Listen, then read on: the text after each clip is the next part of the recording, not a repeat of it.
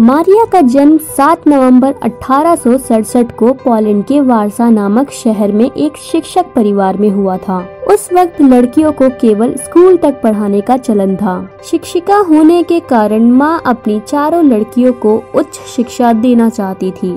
मारिया सबसे छोटी थी।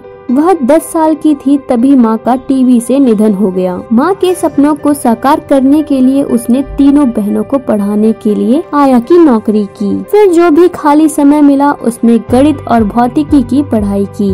कुछ बचत हुई तो उच्च शिक्षा के लिए पेरिस चली गई। पिता से पढ़ाई का खर्च ठीक से न मिलने के कारण कुछ दिन उन्हें ब्रेड और चाय पर काटने पड़े। तो कई अनगिनत रातें भूखे पेट काटनी पड़ी। ज़रूरी खर्च के लिए पेरिस में नौकरानी का काम किया। विपरीत हालात में भी पढ़ाई इतनी तन्मयता से की कि भौतिकी तथा गणित में कक्षा में सर्वोच्च अंक लाकर पेरिस विश्वविद्यालय प्रथम महिला प्रोफेसर बनने का गौरव हासिल किया।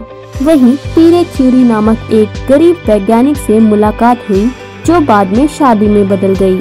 एक संतान को जन्म देने के बाद दोनों ने अपने घर के पास लकड़ी की एक प्रयोगशाला बनाई। यहीं पर उन्होंने रेडियम की खोज की, जिस पर उन्हें सन 1902 का भौतिकी का नोबेल पुरस्कार मिला। यह पुरस्कार पाने वाली वह प्रथम महिला थी। इतना ही नहीं, सन 1911 में रसायन में नोबेल पुरस्कार पाकर दो नोबेल पुरस्कार वाली प्रथम वैज्ञानिक भी बनी। उनकी एक्सरे की खोज ने लाखों को जीवन दान दिया।